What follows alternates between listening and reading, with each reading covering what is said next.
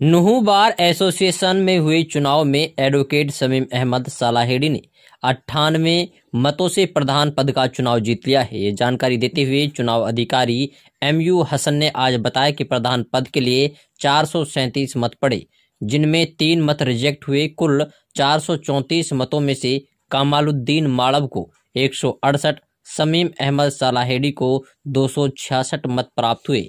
मोहम्मद नोमान मेवली उप प्रधान सचिव पद पर हामिद हुसैन खेडला चुने गए हैं। आज बताया कि संयुक्त मंत्री पद के लिए मोहम्मद मुजाहिद खजांची के लिए तारिक हुसैन व लाइब्रेरी इंचार्ज के लिए तैयब हुसैन को निर्विरोध चुना गया है। बार चुनाव को लेकर चुनाव कमेटी के सदस्य व पुलिस प्रशासन ने सुरक्षा व्यवस्था, कोविड नियमों का जिम्मा संभाला हुआ था। अधिवक्तागण लाइन में लगकर अपने अपने मत का प्रयोग कर रहे थे। चुनाव में विजय पदाधिकारियों ने सभी को धन्यवाद करते हुए सबका साथ लेकर बार का विकास करने की बात कही। नूह बार एसोसिएशन के चुनाव अधिकारी एम यू हसन ने बताया कि पदाधिकारियों को उनके प्रमाण पत्र सौंप दिए गए हैं। वहीं नूह बार की नई कार्यकारिणी गठित होने पर अधिवक्ताओं ने खुशी जताते हुए उनको फूल मालाओं के अलावा मिठाई खिलाकर मुँह मीठा कराया। भारत टीवी डेस्क से रिजवान खान की रिपोर्ट।